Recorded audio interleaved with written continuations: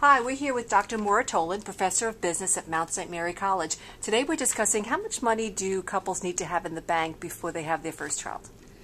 Well, there's two issues that you don't hear discussed much. One, well, you hear college education discussed all the time, and I would argue that you don't need to have that money in the bank before the baby comes to the world. You can start after the child is born, putting aside some money a little bit at a time for their future education. So you don't need to overthink that before you have the child.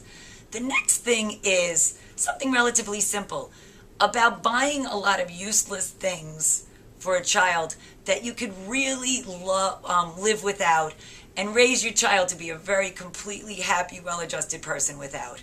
You shouldn't get caught up in all the expenses so associated with baby products.